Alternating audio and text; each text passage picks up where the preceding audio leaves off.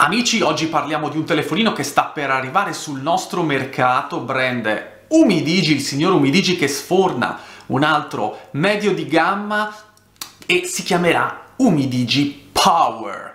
Power perché? Perché avrà una batteria enorme 5150 mAh con ricarica rapida 18 watt.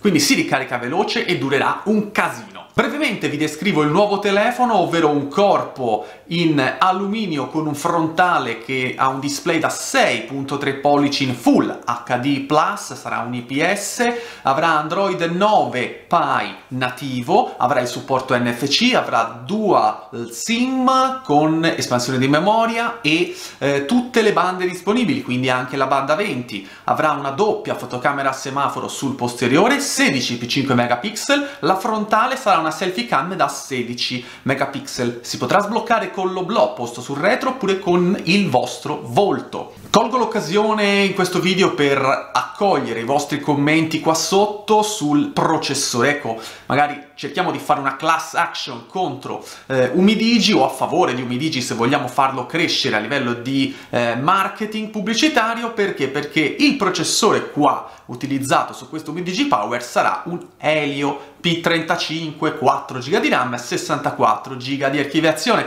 Ecco, sull'Helio io ho ancora un sacco di dubbi su questi processori Mediatek, eh, tanto vale magari utilizzare uno Snapdragon sempre di fascia media, ma anche medio-bassa, eh, secondo me meglio rispetto magari a un Helio. Eh, questo perché? Perché lo Snapdragon gira un pochino meglio, più fluido, Mm, tempi di risposta mm, più rapidi e vabbè, quindi sarete voi a dirmi quello che ne pensate qua sotto. Eh, la cosa positiva qual è? È che questo è un telefono che fa praticamente tutto, non lo farà benissimo, però fa tutto al prezzo minimo sindacale. Perché? Perché costa 159 euro già acquistabile su AliExpress, quindi magari di, di, attendere qualche giorno in più se volete comprarlo, perché dovrebbe essere disponibile su Amazon eh, dal 22 di aprile o comunque sia entro la fine del mese. Eh, prezzo ancora non ufficiale per l'Italia, ma secondo me dovrebbe essere sui 159-169 euro massimo, non eh, di più. Un telefono che ricorda molto l'Ubidigi F1 F1 Play, quindi magari mh, mm, non ci sarà sarà quello, l'effetto wow ehm, quando lo vedremo comparire fuori dalla scatola. Spero di poterlo provare presto e niente, fatemi sapere quello che ne pensate di questo ennesimo medio gamma di Umidigi e noi ci sentiamo al prossimo video. Ciao!